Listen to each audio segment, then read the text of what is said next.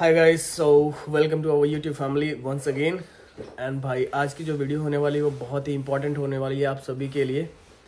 ये जो वीडियो है आई थिंक सो काफ़ी हेल्पफुल होएगा उन बच्चों के लिए जो इन फ्यूचर यूएस के लिए देखना चाहते हैं, क्योंकि आज एक प्रैक्टिकल रियल लाइफ एक्सपीरियंस है मेरे पास, जो कि हमारे फ्रेंड का फ्रेंड आया हुआ था यूके तो भाई को इंट्रोड्यूस करेंगे थोड़ी देर में आपसे।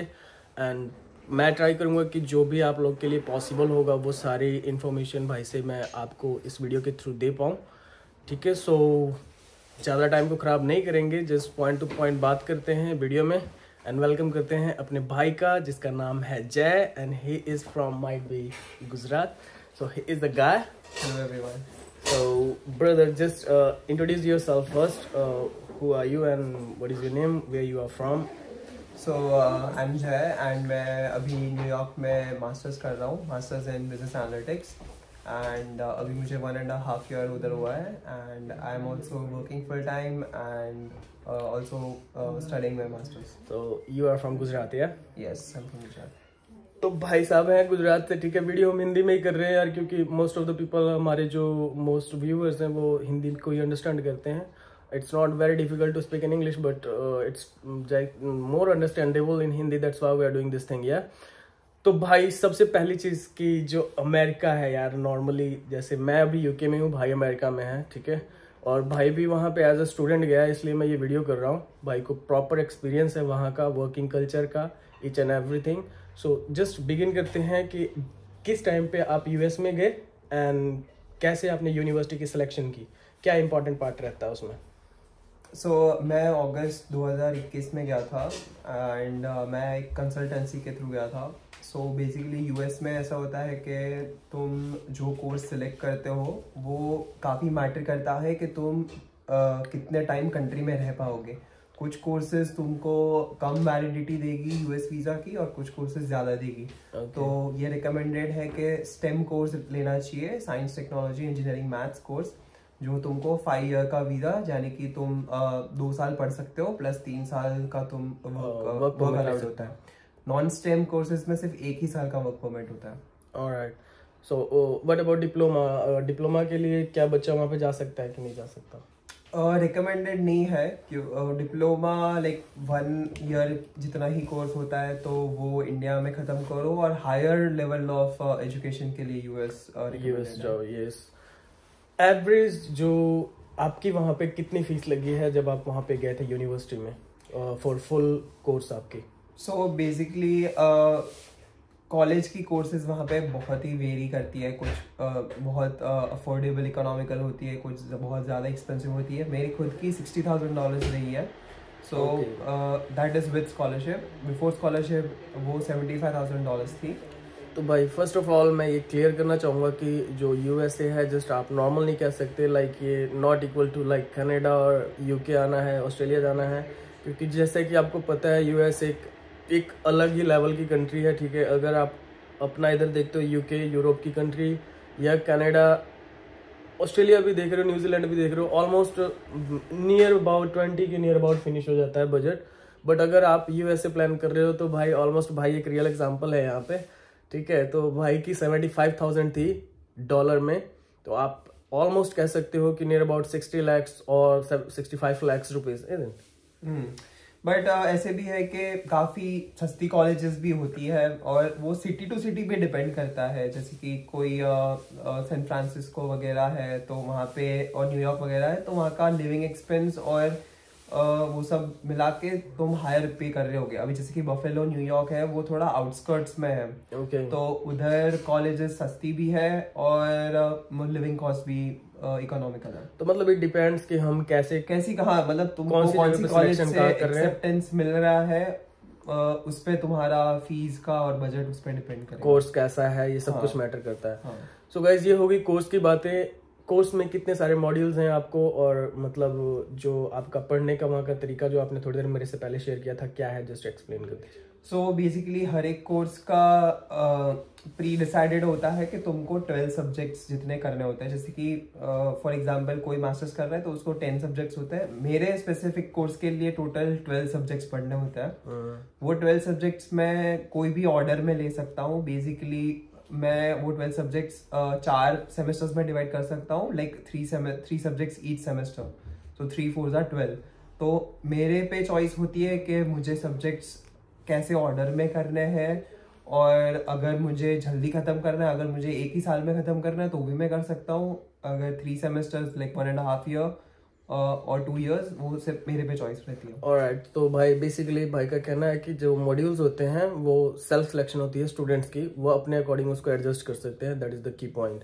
and apart from that जो आप यूनिवर्सिटी के लिए तैयारी कर रहे थे उस टाइम पे आपको कौन कौन से डॉक्यूमेंटेशन करने पड़े एंड इंग्लिश की एलिजिबिलिटी क्राइटेरिया कैसी रही जब आप यूएसए के लिए प्रेपरेशन कर रहे थे? सो so, जब मैं जा रहा था तब लाइक uh, कोविड like, का जिस पीरियड जस्ट एंड हो रहा था तो काफ़ी सारी यूनिवर्सिटीज़ ने सब वेव कर दिए थे like G R requirements I T S requirements but मैंने फिर भी दिया हुआ था और अब काफ़ी नॉर्मल हो चुका है वर्ल्ड तो यूनिवर्सिटीज uh, वापस मांग रही है कि you must have a G R E score must have a I T S score so usually three hundred plus score तुम्हारा जी आर ई में होता है तो you can get a very good university but the thing is के सिर्फ़ तुम्हारे scores पे matter नहीं करता कोई भी यूनिवर्सिटी में एडमिशन uh, मिलना।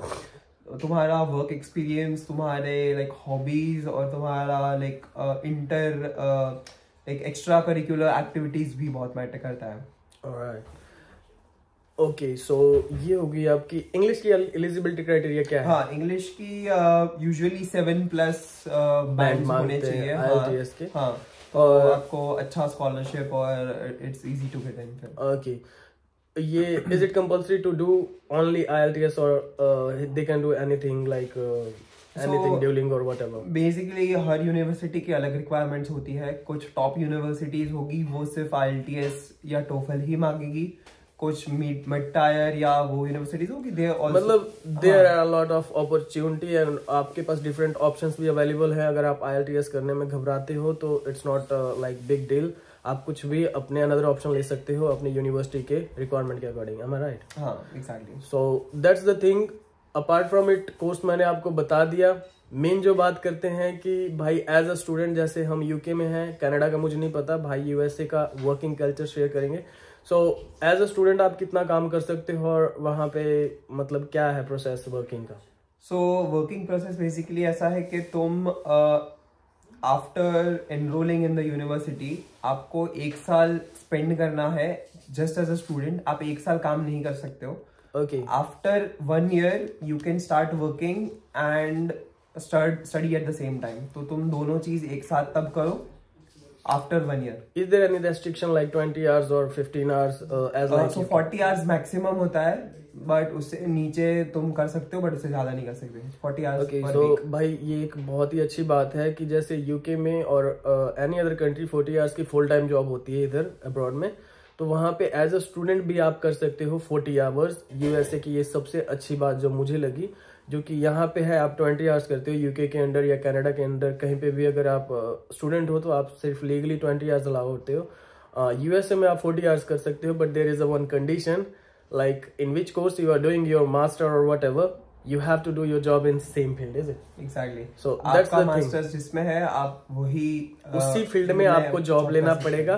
तब आप 40 आवर्स कर सकते हो। Otherwise any job if you are doing any other kind of job like apart from your you know but related to study then it's countable like illegal yes तो वही ये एक प्रॉब्लम लगा मेरे को कि अगर आप कोई और जॉब कर रहे हो तो वो एक काउंट होता है एज अ इलीगल जॉब जैसे आप कैश इन हैंड बोल सकते हो जैसे यहाँ पे माना जाता है उस तरह से। तो ये एक पॉइंट ऐसा है। Apart from that I think हमने हर एक चीज़ कवर की। इसमें स्टडी का पैटर्न कैसा है? वहाँ पे असाइनमेंट वर्क वगैरह या मतलब किस पे वो ज़ोर ज़्यादा देते हैं? थ्रेटिकल पार्ट पे देते हैं कि प्रैक्टिकल पे देते हैं? सो so, ये चीज़ भी uh, हर यूनिवर्सिटी और इनफैक्ट हर प्रोफेसर पर डिपेंड करता है। जैसे कि uh, एक कोर्स जैसे कि मैंने लिया हुआ है और वो सेम कोर्स मेरे रूममेट्स ने भी लिया हुआ है। बट हम दोनों के प्रोफेसर अलग है। तो सेम कोर्स के लिए मेरा फाइनल एग्ज़ाम एक प्रोजेक्ट सबमिशन है और मेरे रूममेट्स का फाइनल जो फाइनल एग्ज़ाम है वो इन पर्सन रिटर्न एग्ज़ाम है। सो so, वो वेरी करेगा प्रोफेसर कॉलेज और सब पे। ओके okay, मतलब ऐसा कुछ कल्चर टाइप नहीं है कि प्रैक्टिकल वर्क ज़्यादा करते हैं या मतलब थियोरेटिकल पार्ट जैसे हमारे इंडिया का कल्चर है। यूजुअली तुम रिसर्च कर सकते हो जैसे कि आप कोई भी कोर्स के लिए सिलेक्शन कर रहे हो हर स्टार्टिंग ऑफ़ द सेमेस्टर में तुमको चॉइस मिलेगा कि मुझे ये कोर्स पढ़ना है ये प्रोफेसर से। तो तुम अपने सीनियर से बात करो कि ये प्रोफेसर कैसा था उसके एग्ज़ाम लेने का तरीका कैसा था। तो तुमको उसी प्रोफेसर के पास जाना चाहिए जहाँ पे थोड़ा ऐसा प्रैक्टिकल वर्क ज़्यादा है। Instead of you know just हाँ थियोरिटिकल इंस्टेड ऑफ़ जैसे हमारे रिटर्न पेपर एग्ज़ाम के बदले तुम प्रोजेक्ट वाला प्रोफेसर चूज़ करो। ऑलराइट सो जैसे हमारे इंडिया में होता है मास्टर लेवल पे भी जैसे थियोरिटिकल पार्ट ज़्यादा होता है हमारे यहाँ पे अगर हम एमएससी समथिंग कुछ कर रहे हैं तो हमें एग्ज़ाम रिटर्न एग्ज़ाम देना होता है। दैट्स जस्ट बुक पढ़ा और दे दिया। यहाँ पे ऐसा कुछ नहीं होता है ज़्यादा। मोस्टली आपको यूके में भी और यूएसए में भी आई थिंक सो सेम चीज़ है। प्रोजेक्ट होएगा जो प्रैक्टिकली आपको उसको करना होगा मतलब एग्जैक्टली वे में जो कि आपको समझ भी ज़्यादा लगता है अगर आप प्रैक्टिकल काम कोई भी करते हो। तो ये एक प्लस पॉइंट है। अपार्ट फ्रॉम दैट कैसा रहा आपका वहाँ का वेदर का और रहने का एक्सपीरियंस दो साल का? सो so, uh, मैं न्यूयॉर्क सिटी में हूँ बेस्ड तो वेदर काफ़ी एक्सट्रीम है लाइक कभी भी बारिश और काफ़ी extreme cold but I still get to live in New York तो everything is fair last question है अपने भाई भाई के एक्सपीरियंस का जो कि बहुत ही इंपॉर्टेंट है. अल्टीमेटली हर एक बच्चा कहीं पे भी अगर प्लान करता है फॉर अब्रॉड तो उसका एक ही होता है कि मैं वहाँ पे इनकम क्या जनरेट करूँगा वहाँ जाने के बाद. So average income of USA after completing your degree or before completing your degree like now you are doing 40 hours it's like a full-time job. How much you are earning like just an average average it's not like uh, you have to give exactly. Mm-hmm. just for average salary how much you can so uh, abhi basically mera internship hai. I'm not a full-time, full permanent yeah. Uh, yeah i'm not a full-time employee. I am a intern but at 40 hours per week. Uh, so i earn around $3000 but uh, a full-time employee for the same position wo in the same field after uh, completing field, your degree. after ha after completing जब मैं full time हो जाऊँगा तो I will get at least seventy thousand to eighty thousand so that's the difference brother whatever I notice nothing is like he possible like he saying that if you completing your degree and if you are doing same field job then you you can get easily or like you can say at least minimum to minimum 60 to 70 thousand dollar as a salary per annum isn't yes so that's a very great thing for usa तो भाई ने यार बहुत अच्छे से समझाया आप सभी को जो भाई की एक्सपीरियंस रहा वहाँ का ठीक है रेसिज्म और वट एवर लास्ट क्वेश्चन है कि कैसा है रेसिज्म का मतलब कुछ थोड़ा सा कैसा है वहाँ पे सो so, मुझे दो साल हो गए हो गए एंड uh, मुझे कोई भी अभी तक रेसिज्म का एक्सपीरियंस नहीं हुआ। एवरीवन इज़ वेरी नाइस बहुत डाइवर्स है न्यूयॉर्क ये सब जगह से है लोग। डाइवर्स का मतलब भाई यही होता है डाइवर्सिटी का कि डिफरेंट कंट्री के पीपल वहाँ पे एक साथ रहते हैं और एक साथ काम करते हैं। हम्म। तो इसका एक अलग का आपको एक्सपीरियंस फील होएगा जब आप डिफरेंट डिफरेंट कंट्री के लोगों के साथ काम करते हो। रहने का आपका कल्चर जो रहने का है ना सभी का अपना अपना एक कल्चर है वर्ल्ड में।